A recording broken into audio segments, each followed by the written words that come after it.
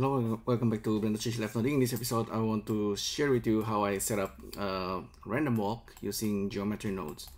So the setup is really simple. Basically, you start with a single point and then you give like a random value and then kind of um, accumulate the value. So you have, you end up with a curve with a, you know, like random path and you can randomize the seed.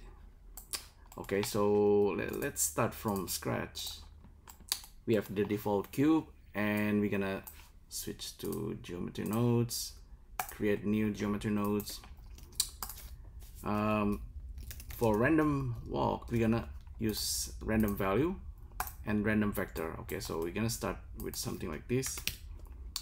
So random value and we also need something like curve line.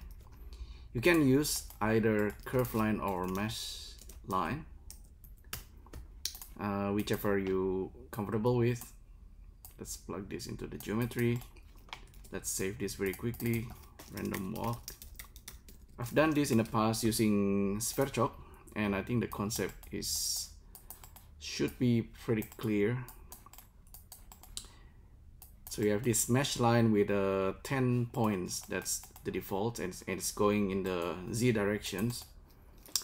If you use something like a set position and if you plug in this random value into the positions you're gonna end up with oops you're gonna end up with this line with random vector positions right? And you can increase the number of points and it's gonna just create this kind of like a crazy line. So this is it's a sort of like of like random walk but uh, not yet exactly. You kind of want to have this random value but it's kind of accumulating. So you want to use something like accumulate field. Okay so this is where the magic is gonna happen. Gonna switch to vector points and this random value will go inside this value. And we have this leading and trailing value and this is kind of the value of vector that keeps adding up. If I'm not wrong you can use viewer node and let's take a look under spreadsheet. We if we plug this value there and then okay we have geometry and value. So we should have like a like a viewer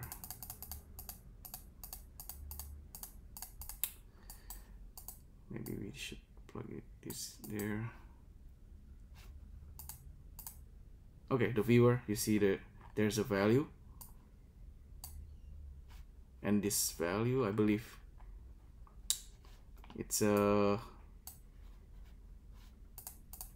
it's growing.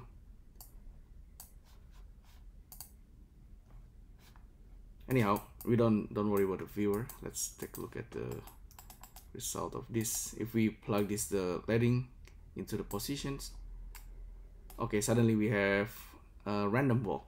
So there's a leading and the trail. Which one do you want? The leading or the trail?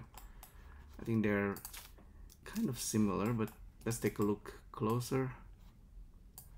Leading trails. We probably want to have we want to have it as a trails like you start with the 000 and then you kind of have random value and it's keep adding on the last points. And yeah I think this is the random walk. So this is probably done. In my case I want to actually use curve line so we can have like a smooth line in the end. So I will just plug this into the geometry. So now we have just a single curve um, resample. Let's resample this curve. Now we can use this count to control our line. So let's let's now tidy this up. So there's a count and also the seed okay. We can have random seed and random number of counts for our curve so this is this is pretty much done. And we can create duplicates and take a look at the modifier of, of geometry nodes. We can change the count and change the seed. So we have random walk like multiple like different objects with different seed and different count. Okay that's cool. Um, ideally if only we can do this inside geometry nodes itself. So like if we select all and then control G. So we we have we are creating like a group node. If we hit tab and go out you can see this is a a single uh, like curve with random seed and random count. Ideally really I'd like to be able to kind of vectorize this and randomize the seed inside geometry nodes. I don't know if that's gonna be I don't know if it's already possible or not but I'm pretty sure I'm pretty sure it's possible. I don't like with with instancing if we instance on points and if we create like a grid three by three so we have nine nine points and we if we instance so currently this is the result and we cannot just plug in the seed like that. I don't know. Maybe I'm missing something. Anyhow for the moment I will randomize simply by using um, Sverchok okay something like Sverchok oh by the way if you want to smooth if you want to smooth the line you can do that by using set spline type and set it to NURBS so this is the result is gonna be smooth. Yep okay. So we have this curve. And also you probably want to use curve to mesh and use a circle. Plug this there. So we have this okay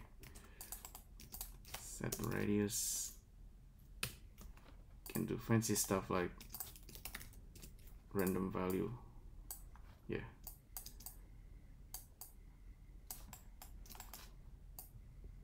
So there's like random radius happening. Might need to resample again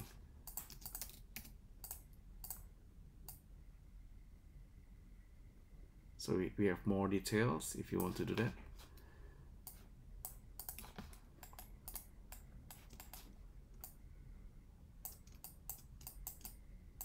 Okay. I think that's interesting enough right? So we have a single object. We have ability to change the seed and change the count. Let's make the count like 1000 for now. Let's make like a couple of duplicates so we have 10 we want to randomize this using Sverchok because the, each one of them is a different object. So Sverchok get objects get selections and set object ID object goes in.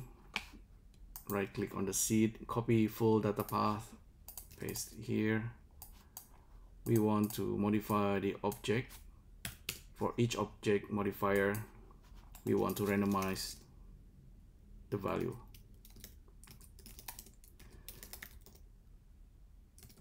Uh, what is this? Random number.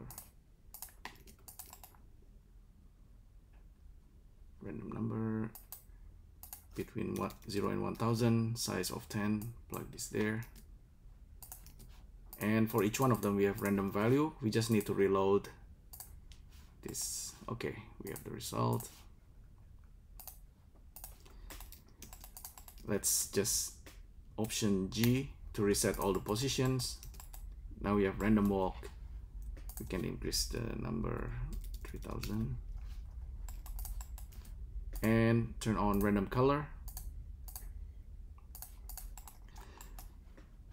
Now we have uh, random walk just uh, in the past I I use Sverchok for all of this but now we have geometry nodes to be able to do this. It's really it's really quite neat okay to be able to do this that easy you know it's a, it's actually quite complicated. Let's make a bunch. So I just make like 30 let's have 30 you know. And then reload. Now all of them should be random if we get selections.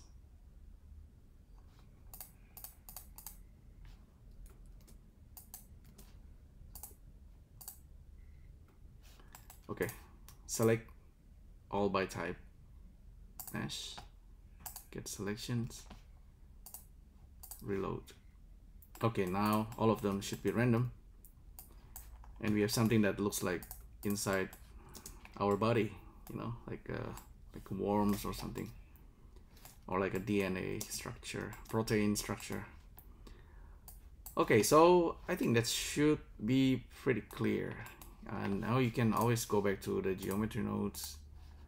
And we have this something to play around with.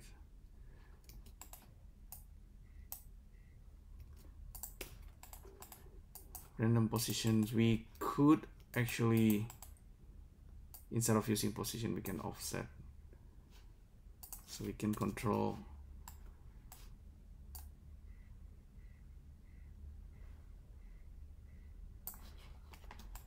The directions of the random walk kind of yep. Let's just use position for now. Just zero this out. What else can we do? We can actually make change the value of the random walk.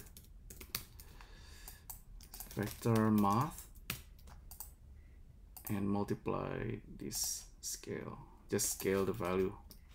You can use noise maybe instead of random value but the random value is almost looking like a noise anyway if you use like if you do it like really small value now we have total mass